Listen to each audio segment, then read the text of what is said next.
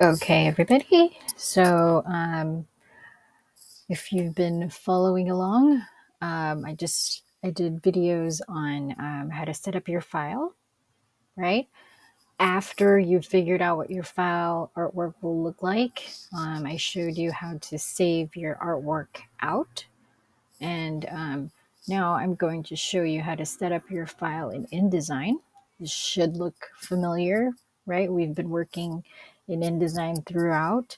Um, so just want to make sure we have all our all our bases covered, right? So we're gonna have InDesign open. You're gonna create a brand new file. Um, it's going to be set up for print. Yes. Um, and just so you know that there's a preset for this size, our tabloid size, but I'm going to just do it manually just to show you. Right? It's 11 by 17. It's definitely inches. You can, it's not going to be facing pages because you're just making one page. Um, so you can uncheck that. Depending on if you did a horizontal or a vertical poster layout, you can choose one of these. Mine was very vertical portrait. Um, and I'm going to hit create. Okay. So blank file, I'm going to make sure that I save my file. Make sure you know where you're saving it to. I created a project 2 folder.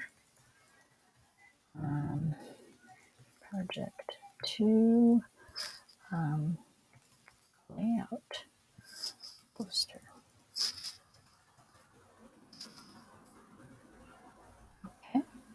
And I'm going to save. All right.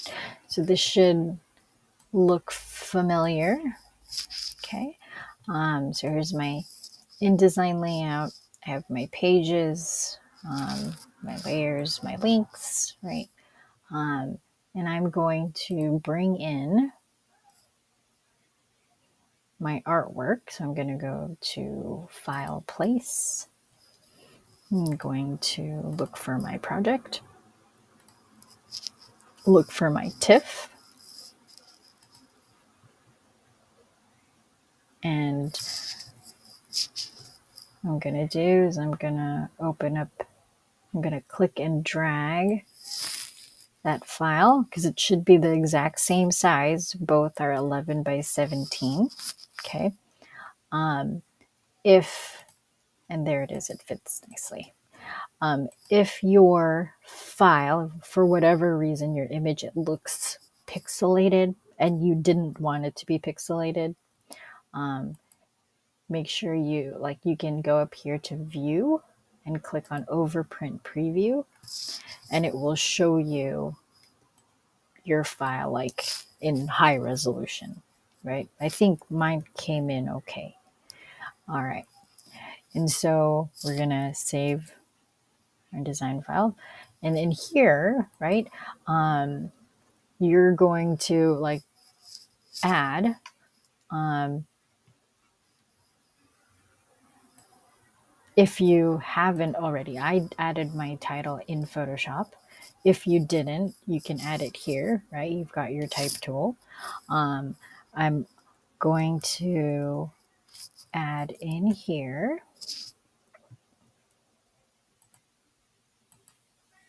I'm going to make this a little bit large so you can see it. Um,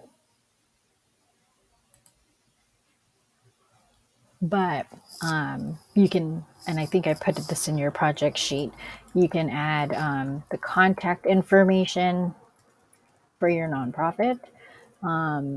You can add um, the social media handles. For my demo, I'm not do doing that. I'm just kind of adding it for you. Um, and also, um, so you can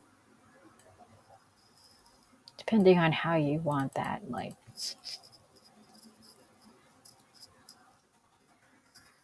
you can have it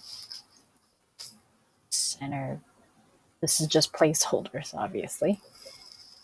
All right, got it down here. Another thing that um, I think is very helpful um, is a statistic.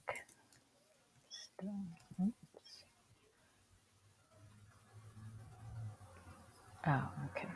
I'm gonna make this bigger so you can see it. A statistic or a fact about your um, nonprofit, about your topic. Right. And I wanted to show this to you too. I don't know if you've used this before, but maybe you've stumbled upon it. But I have my um, type here, right? And I want to make sure that things kind of maybe look the same, right? So I'm going to select my type and you can, I know most of you have probably stumbled upon the eyedropper tool, but you can actually use the eyedropper tool for type.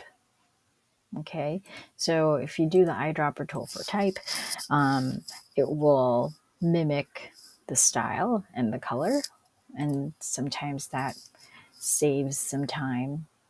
Um, you can put like a fact about a topic, or you know, everybody likes those statistics 100% of people.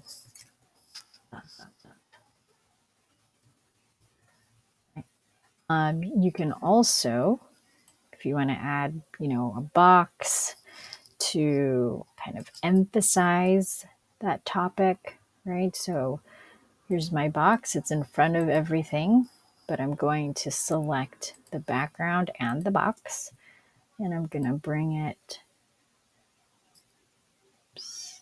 to the back. Um, also, too, um, I want to make this box not so um, opaque. I want some transparency going on. So I'm going to go to Object, Effects, and I can play around actually with the transparency similar to Photoshop. So this is normal. I can kind of screen it back or I can multiply it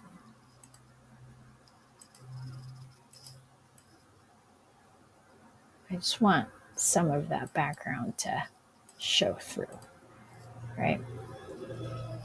Gonna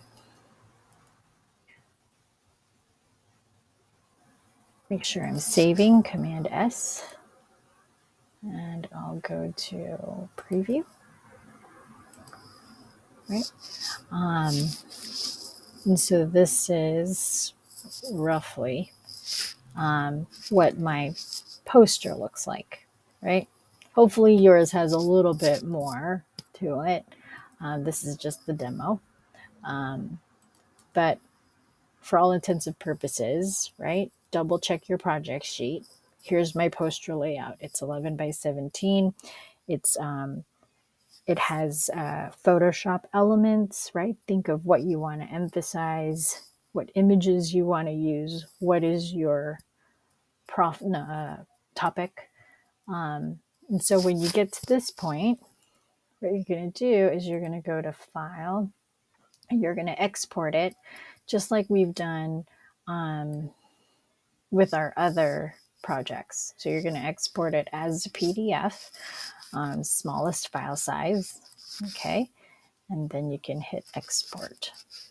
And that um, is what you would need to upload to Canvas. Okay. Um, there is an option for you to do a mockup. Um, so for those of you who are interested in doing that, I'm gonna you can gonna add an extra little step here so I can prep for my my optional mockup for those of you who feel up for the challenge. And I'm gonna hit save and I'll do export. So I'm just exporting that JPEG for an optional step. But um, you know, once you have your setup InDesign, you know, create your layout, add to it, um, and then you can upload that PDF to Canvas. Um, if you're thinking about doing that extra step of doing the mockup, you can watch the next video. But for all intensive purposes, this should get you, these videos should get you to the end point, right? For your project too. Should be really fun. Hope you have, you know, a lot of uh, creativity. You can also scan things in, draw stuff, add it into Photoshop. So, all up to you. Okay, so I'll stop here. And then if you're thinking about doing the optional mockup, you can watch the next video. All right, thanks.